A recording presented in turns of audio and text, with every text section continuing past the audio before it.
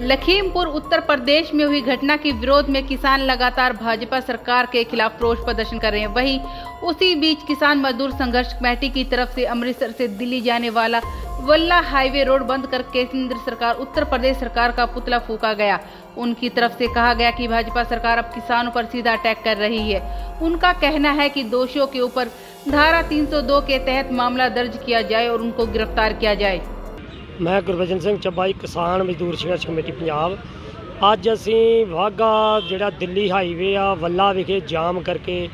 ਮੋਦੀ ਤੇ ਜੋਗੀ ਦਾ ਜਿਹੜਾ ਵਾ ਪੁਤਲਾ ਫੂਕ ਕੇ ਤੇ ਇਹਨਾਂ ਖਿਲਾਫ ਜਿਹੜਾ ਰੋਸ ਮੁਜ਼ਾਹਰਾ ਕਰ ਰਹੇ ਕਿਉਂਕਿ ਜੋ ਪਰਸੋਂ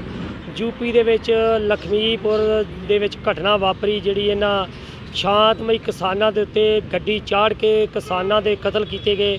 ਉਹਨਾਂ ਨੂੰ ਸ਼ਹੀਦ ਕੀਤਾ ਗਿਆ, ਉਹਦੇ ਰੋਸ ਵਜੋਂ ਕੀਤੇ ਗਏ, ਕਿਉਂਕਿ ਕੇਂਦਰ ਦੀ ਮੋਦੀ ਸਰਕਾਰ ਜਿਹੜੀ ਆ ਉਹ ਇਸ ਵੇਲੇ ਪੂਰੀ ਇਸ ਅੰਦੋਲਨ ਤੋਂ ਘਬਰਾਈ ਹੋਈ ਆ। ਅੰਦੋਲਨ ਨੂੰ ਢਾਹ ਲਾਉਣ ਵਾਸਤੇ, ਅੰਦੋਲਨ ਨੂੰ ਜਿਹੜਾ ਵਾ, ਹਰ ਹੀਲੇ ਤੇ ਜਿਹੜਾ ਵਾ, ਉਹ ਖਰਾਬ ਕਰਨ ਵਾਸਤੇ ਇਹੋ ਜਿਹੇ ਹੱਥ ਕੰਡੇ ਵਰਤ ਰਹੀ ਆ ਵੀ ਉਹ ਸ਼ਾਂਤਮਈ ਕਿਸਾਨਾਂ ਦੇ ਉੱਤੇ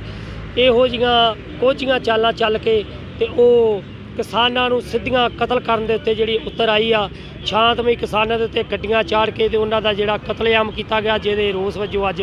ਅਸੀਂ ਕੇਂਦਰ ਦੀ ਸਰਕਾਰ ਮੋਦੀ ਦਾ ਤੇ ਜੋਗੀ ਦਾ ਜਿਹੜਾ ਪੁਤਲਾ ਫੂਕ ਕੇ ਰੋਸ ਮੁਜ਼ਾਹਰਾ ਕਰ ਰਹੇ ਕਿਉਂਕਿ ਸਾਨੂੰ ਜਮਹੂਰੀਅਤ ਦੇ ਵਿੱਚ ਹੱਕ ਆ ਆਪਣੇ ਰੋਸ ਪ੍ਰੋਟੈਸਟ ਕਰਨ ਦਾ ਇਹਨਾਂ ਦਾ ਜਿਹੜਾ ਵਾ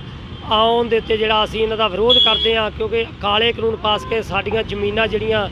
ਇਹ ਕਾਰਪੋਰੇਟਾਂ ਨੂੰ ਖੋ ਕੇ ਦੇ ਰਹੇ ਆ, ਪੂਰੀ ਤਰ੍ਹਾਂ ਸਾਡੇ ਦੇਸ਼ ਨੂੰ ਜਿਹੜਾ ਵਾ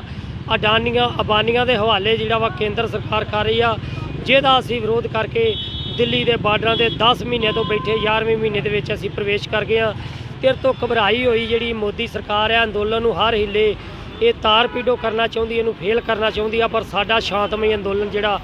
ਲਗਾਤਾਰ ਜਿਹੜਾ ਅੱਗੇ ਵਧੂਗਾ ਤੇ ਇਹ ਜਿੱਤ ਤੋਂ ਬਾ- ਬਗੈਰ ਜਿਹੜਾ ਕਦੇ ਵੀ ਵਾਪਸ ਨਹੀਂ ਹੋਊਗਾ ਸਾਡੀ ਮੰਗ ਆ ਵੀ ਉਹ ਜਿਹੜਾ ਉਹ